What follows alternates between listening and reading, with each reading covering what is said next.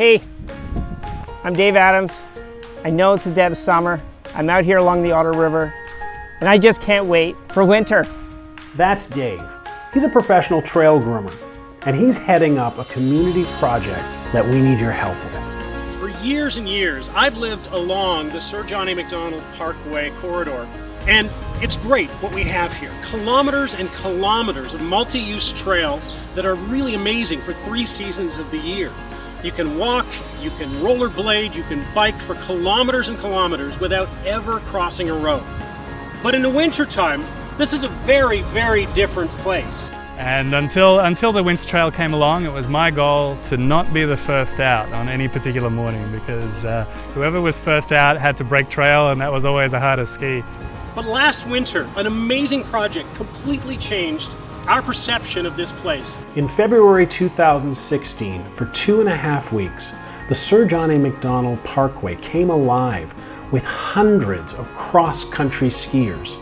And not just skiers, people walking, runners, fat tire cyclists, dogs, and kids all laughing and smiling and meeting their neighbors. Uh, it was like all my Christmases came at once.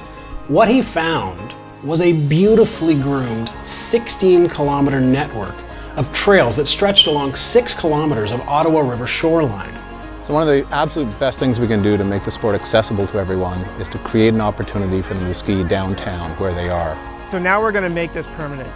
So here's the plan. The plan is to turn this one-time experiment into a permanent winter trail that's going to extend from the first snowfall till spring melt every year from now on. And during that time, you're going to get more grooming sessions to ensure a firm packed trail all the way along.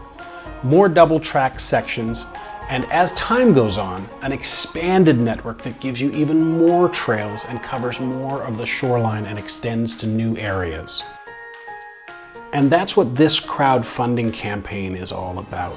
We need your support to keep this project going for the next three years, the next five years, for as long as we can, because we think it's good for the community. So that's the plan. Let's do this together. Visit wintertrail.ca.